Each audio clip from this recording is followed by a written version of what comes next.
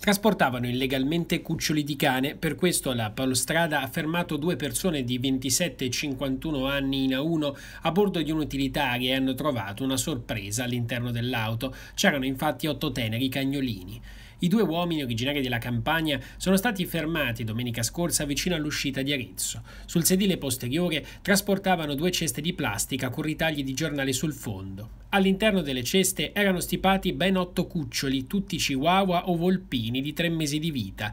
I cani erano purtroppo in pessime condizioni e nessuno era provvisto della necessaria documentazione. Sul posto è arrivato quindi un altro equipaggio e gli investigatori hanno accertato che i due uomini si erano procurati i cani in un paese dell'Europa dell'Est ed erano rientrati poi in Italia da Trieste per piazzarli sul mercato nero in Campania. I loro piani sono saltati perché gli otto cuccioli sono stati presi in consegna da un veterinario e appena si rimetteranno saranno dati in adozione. La Polstrada ha denunciato le due persone fermate per traffico illecito e maltrattamento di animali, l'auto è stata sequestrata ed è scattata anche una sanzione per oltre 8.000 euro. Alla polizia stradale sono già arrivate tantissime richieste per avere in affidamento questi splendidi esemplari.